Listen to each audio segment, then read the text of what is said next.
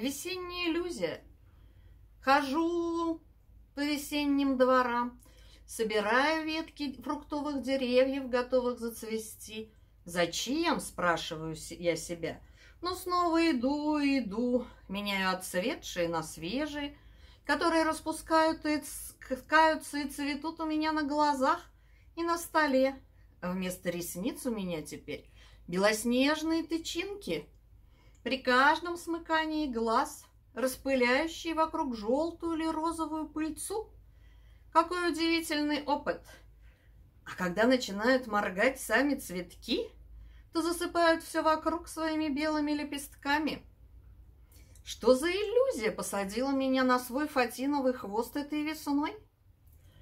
Вздохи и сновидения моей любви, пытающиеся успеть махнуть мне своим метельным хвостом, своеобразной зимой весной, оттуда, куда она ушла?